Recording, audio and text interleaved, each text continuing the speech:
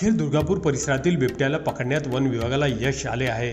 मात्र अनेक लोकांच्या बळी घेणारा बिबट हेच आहे का यावर प्रश्नचिन्ह निर्माण झाला आहे. दुर्गापूर येथील समतानगर परिसरात बिबट्याने आठ वर्षीय बालकाला उचलून नेऊन ठार केले होते. उद्या रामनवमी निमित्त वर्षभरात एक हजार आठ भजन मंडळाचे भजन कार्यक्रम आयोजन करण्याचा मानस चंद्रपूरचे आमदार किशोर जोरगेवार यांनी केले आहे. यंग चादा ब्रिगेडच्या वतीने विविध भाषीय चार दिवसीय शंभर भजन मंडळांचे भजन महोत्सव कार्यक्रम आयोजित करण्यात आला आहे. शरद पवार यांच्या घरावर झालेल्या भयाड हल्ल्याचा आज जाहीर निषेध करण्यात आला आहे.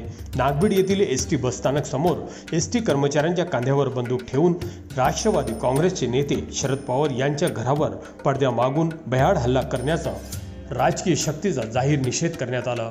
यावेळी नागभीड शहर अध्यक्ष रियाज शेख विनोद नावफडे प्रशांत गायकवाड सह अनेक कार्यकर्ता उपस्थित होते.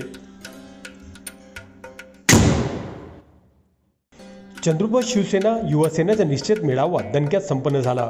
महाराष्ट्रात भविष्यात होऊ घातलेल्या विद्यापीठ निवडणुकीची पूर्वतयारी म्हणून युवासेना प्रमुख आदित्य ठाकरे यांच्या नेतृत्वात संपूर्ण महाराष्ट्रात निश्चित दौरा कार्यक्रम सुरू करण्यात आला आहे. चंद्रपूरचे शिवसेना प्रमुख संदीप ग्रे यांच्या नेतृत्वात महानगर प्रमुख प्रमोद पाटील यांच्या उपस्थित चंद्रपूरच्या राजीव गांधी सभागृह येथे कार्यक्रम आयोजित करण्यात आला.